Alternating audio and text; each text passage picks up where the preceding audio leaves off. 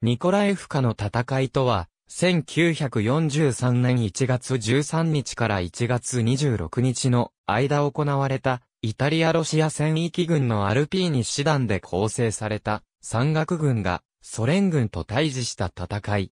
東部戦線の長期化に備えて開始された、ブラウン作戦は、スターリングラードへの固執によって停滞した。同地の占領に関わるヒトラーは、周辺陣地からドイツ軍部隊を引き抜いていき、対戦車装備に不足のある同盟軍部隊のみで退路を防衛するという危険な行動を始めた。ドイツ軍だけでなく、同盟軍からも危険だとの声が上がったが、ヒトラーはあくまでこれを強行した。スターリングラードで、独第六軍を釘付けにしていたソ連軍は、その後方を守る脆弱な同盟軍陣地を、戦車部隊を中心に突破して、同志のドイツ軍を包囲する計画を立てた。同盟軍部隊は主に、ルーマニア第4軍と第3軍からなり、ハンガリー第2軍とイタリア第8軍がこれを補佐していた。予想通り脆弱なルーマニア軍は壊滅して戦線は突破され、スターリングラードの独第6軍は包囲下に置かれた。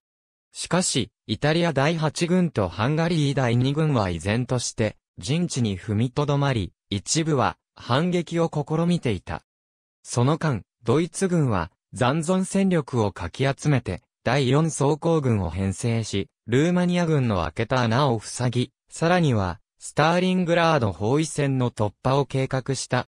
ルーマニア軍排除に成功したソ連軍は、ドイツ軍とイタリア・ハンガリー軍の反撃を頓挫させるべく、再度の攻勢を同盟軍陣地に加えた。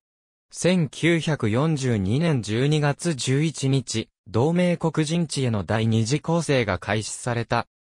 戦線をドン川下流のロストフ方面へ押し込み、コーカサス山岳脈方面で戦うドイツ軍の英軍集団と第4装甲軍の連絡路を立ち、同時期にスターリングラードで孤立する第6軍を救出する目的で発動されていた冬の嵐作戦を頓挫させることだった。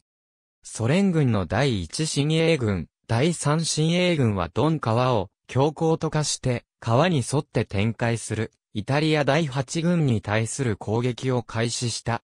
最初の4日間に貧弱な対戦車装備で、第8軍は戦車部隊を迎撃して突破を阻止した。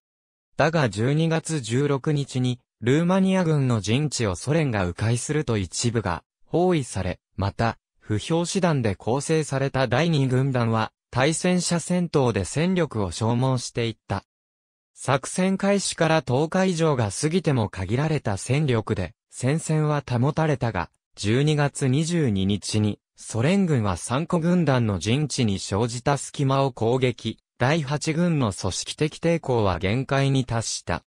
第2軍団と第35軍団の残存部隊はドン川後方へ撤収。これにより、ソ連軍は数軸軍の戦線に深さ 45km 幅 150km の穴を開け国海の方へ南下した。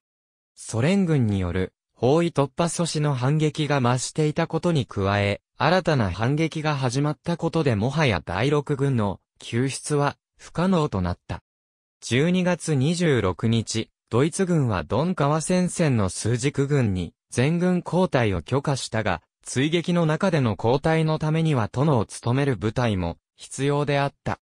先の攻撃を生き延びた第8軍の山岳軍団は、ソ連軍の攻撃を退け、可能な限り陣地を守ることが求められた。ソ連軍は、同盟軍陣地への攻撃を継続したが、山岳軍団のトリデンティーナ、ユリア、クネーンゼ山岳師団は、ソ連軍の猛攻に踏みとどまった。彼らは増援として到来したビチェンツァ師団と共に翌年まで陣地を死守する成果を上げた。1943年1月にソ連軍はスターリングラード占領作戦、鉄林と並行して焦土製作戦の完了に向けて大規模な援軍を送り込んだ。司令官、ヒョードル・イシドロビッチ・クズネツォフ大将はまず、イタリア第8軍残余と共に陣地を固守していた、ハンガリー第2軍に攻撃を行い、スボボダ村で、ハンガリー第2軍は、壊滅的な打撃を受けて退却した。クズネツォフ大将は次に、山岳陣地に立てこもるアルピーニ師団に攻撃を行った。山岳師団は決して交代せずに陣地を守ったが、ハンガリーに続いて、ドイツ軍第35軍団の残存部隊が交代を強いられる。側面部隊の退却によって、アルピーニ兵の陣地はドン川戦線に取り残され、1月13日に包囲下に置かれた。この時点でも、司令部は、アルピーニに、飛び地陣地の防衛を、ソ連軍牽制のために熱望したが、すでに最初の攻勢と二度目の攻勢で、サシモの山岳師団も多くの死者を出していた。ジュリオ・マルツィナと少々は非現実的な命令を拒絶したが、それでも2日間は完全な包囲下で、ソ連軍を退け続けた。1月15日、マルツィナと少々は、降伏を避けるべく、包囲網突破による、ベルグラード市への交代を決断する。すでに、ソ連軍は、アルピーニ陣地から後方 150km までを占領しており、突破は、ほとんど不可能と見られていた。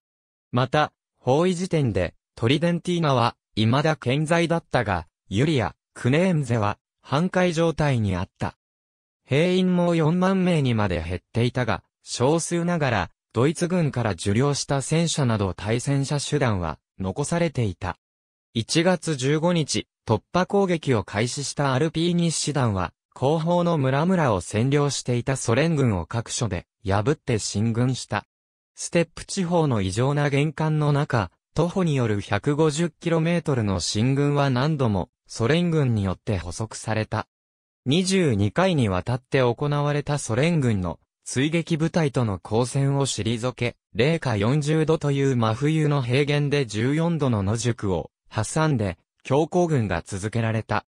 行軍の中でユリア、クネーンゼ師団の兵員は全滅して、マルツィナと少々も戦死したが、トリデンティーナ師団は、ルイジ・リベルエリ師団長を指揮官に諦めず、ソ連軍の追撃を撃退して突破を続けた。1月26日、トリデンティーナ師団は、数軸軍が新たな前線としていた、ベルゴロード近郊のニコライフカ村に到達した。そこは、ソ連軍にとっても前線であり、とりわけ強固な防衛線が敷かれていた。トリデンティーナは、最後の戦力を投入して、攻撃を開始、激戦を制してニコラエフカ村を奪取した。だが、ソ連軍の抵抗も激しく、増援を得てニコラエフカ村に猛攻を加えて、アルピーニ兵から村落を奪還した。絶望的な状況に陥った兵士たちに、リベルエリ准将は、トライデンティナ、アバンティと号令し、自ら先頭に立って陣地への不評突撃を敢行した。なだれ込むアルピーニ兵の突撃に、ソ連軍は頑強な抵抗を見せて、アルピーニ兵も多くが倒れたが、陣地に到達した部隊の攻撃に大きな打撃を被った。ニコラエフカ村は陥落して、戦線に穴を開けたトリデンティーナ師団は2月1日にベルゴラード市の数軸軍陣地に到達した。奇跡的な突破だったがその代償として4万名の兵士のうち3万名が戦死し、その一人でもあった司令官のジュリオ・マルツィナと少将に対しては、ドイツ軍から騎士鉄十字勲章が追贈された。ありがとうございます。